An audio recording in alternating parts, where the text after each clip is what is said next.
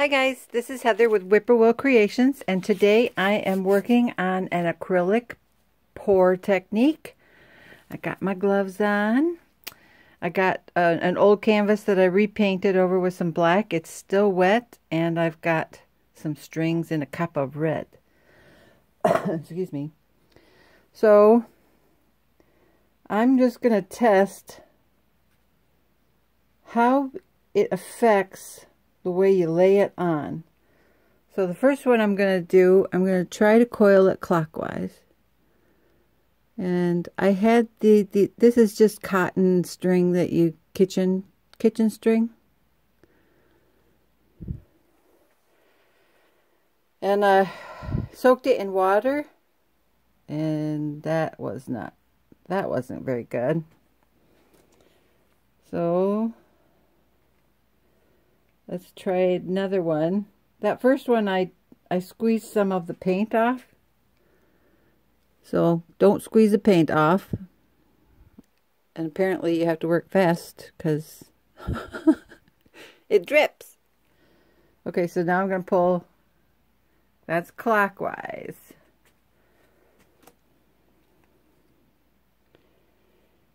Now I'm going to do counterclockwise.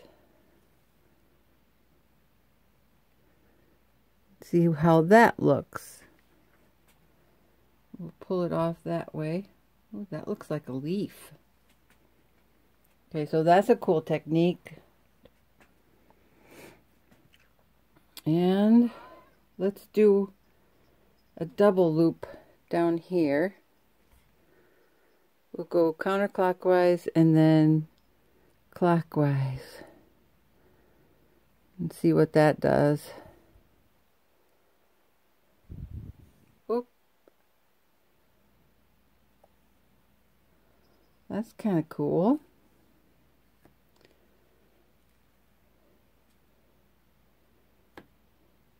Let's see if we can do that again. And do clockwise this way. And then counterclockwise this way.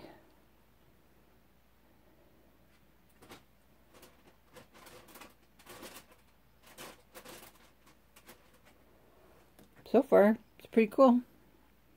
Alright, we'll move this one out of the way.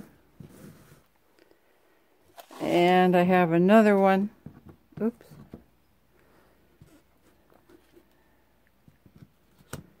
I have another one here get that out of the way. Already rep, prepped and ready. And this one, I've got one more string left in here. I want to try to see what it looks like if you do two ends and then pull.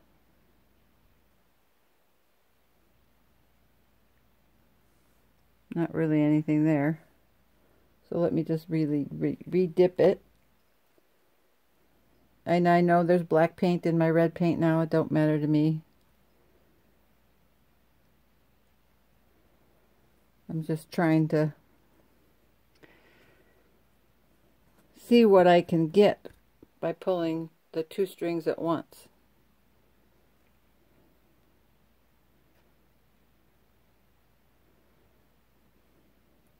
Hmm. Looks kind of fun.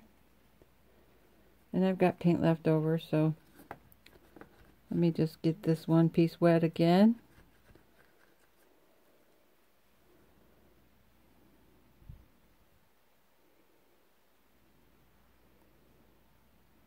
And we will pull it. Come on.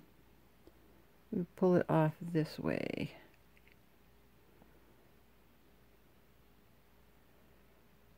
Cool. But now my black is getting mixed in.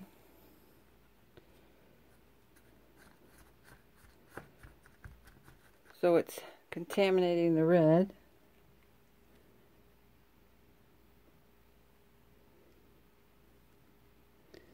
So counterclockwise. And I'm going to pull it off to the right if I can.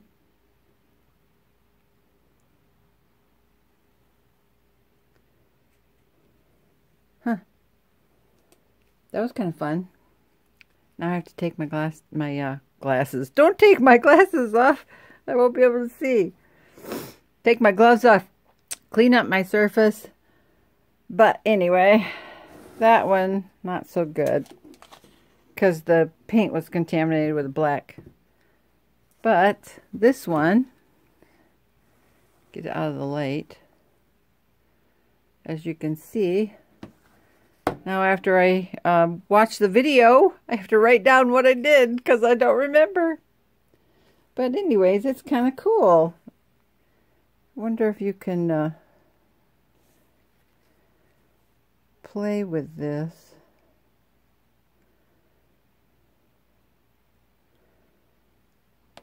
To get the stems skinnier.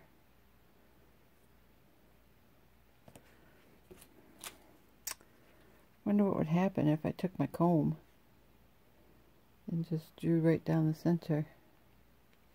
The canvas is showing through because I didn't wait for, I didn't do a base coat.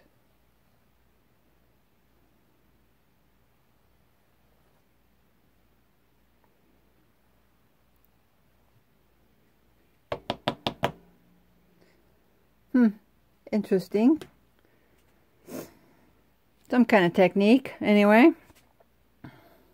So you could just play with it and see what you like doing. See what kind of effect you get. But anyways, that's, this is how I work. I have to do test pieces. So I'll let this dry and I'll paint over it and I'll use these two again.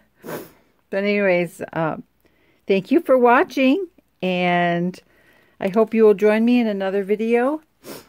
Be sure to like the page or subscribe and click the bell.